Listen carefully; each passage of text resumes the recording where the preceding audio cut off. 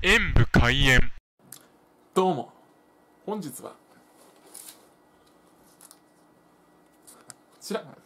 ファミリーマートの釜出しプリンのパフェを食べたいと思います。釜出しプリンってことはあの釜焼きプリンのことなのかな？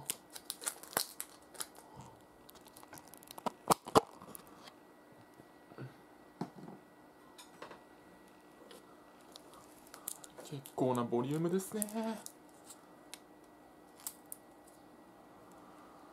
ではいただきます。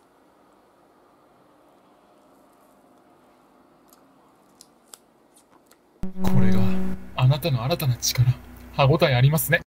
焼いているがゆえなの。かか固めで歯ごたえのあるプリンでした。卵の風味はとっても濃厚で歯ごたえがそれをむしろ引き出しています。